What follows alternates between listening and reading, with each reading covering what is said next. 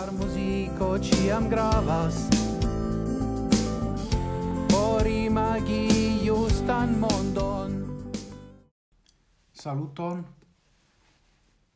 Cima tene mi uh, restas heime por uh, labori essenze por la lasta e lezioni kai uh, eh, examenoi citiun uh, eh, semainon uh, uh, multai uh, lezionoi kai examenoi ocasos facte kai mi passos uh, la play multon uh, de la tempo per uh, zoom au aliai retumiloi. Kai mi volas uh, transdoni al vi uh, du reagoin de mia video serio kai do uh, mi tre gioias che io reagas. Do unue na compreneble mem compreneble mi uh, legos ilin uh, anonime. Do la uh, unua estas el uh, estas uh, retletero de comenzanto do mi legos laut legos.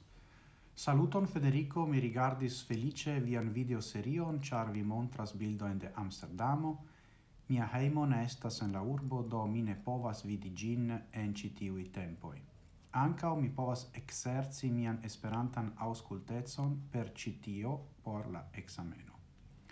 Mi reconis vian canton jen, cium vi entusiasme kai amusinte cantis en la esperanta classo de FOSS, Mi scivole attendos la venontan episodojn, saluton kaj sanon en citiu tempo. Coran dankon kaj la lia estas de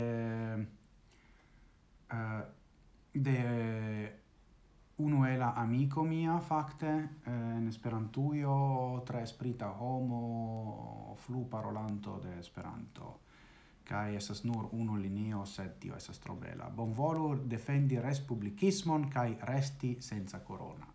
Tio compreneble esas italajo.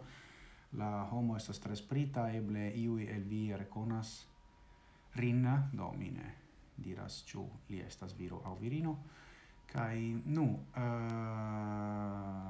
jam tempesta por uh, la momento de Esperanto musico antaŭ ol uh, ol doni la la parolon alla esperanta musico uh, duon namasteon al vi ciui. Kai gis morgaŭ ciu vi pensas nun ke vi mi servis dum la recruta via vera